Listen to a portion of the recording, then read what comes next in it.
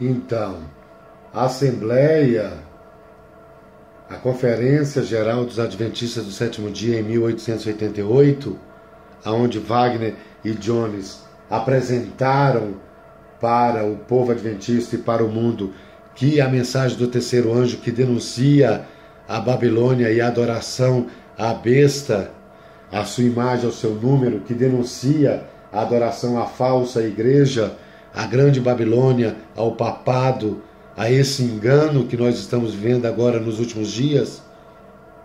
Essa mensagem adventista ela é revelada na justificação pela fé do nosso Senhor Jesus Cristo. Wagner e Jones disse que a mensagem do terceiro anjo que denuncia e alerta para que os habitantes da terra não adorem a essa religião falsa, ela também chama a atenção e nos leva à adoração ao nosso verdadeiro Senhor, que é o nosso Senhor Jesus Cristo, e é pela fé no sangue dele que nós podemos atingir ao trono do Todo-Poderoso. Quando Jesus falou que ia subir ao céu e ia enviar o consolador, o ajudador, aquele que nos convence do pecado, da justiça e do juízo, o Espírito Santo, Jesus estava dizendo que ele ia receber o Espírito do Pai e com isso ele iria mandar por intermédio dos seus olhos para toda a terra.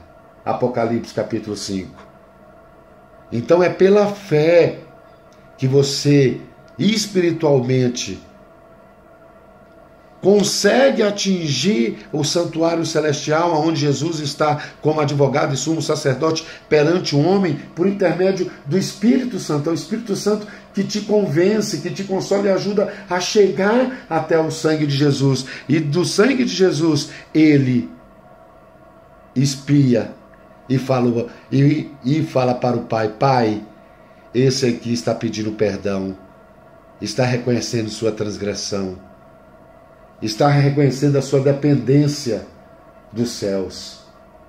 Aí o pai, cheio de amor, olha para o filho e reconhece que o sacrifício do filho não foi feito em vão. Então, essa mensagem do terceiro anjo de 1844 de justificação pela fé, ela envolve diretamente o sacrifício expiatório que Jesus faz hoje no santuário celestial. Essa é a mensagem da verdadeira adoração que nós temos no mundo para a verdade presente.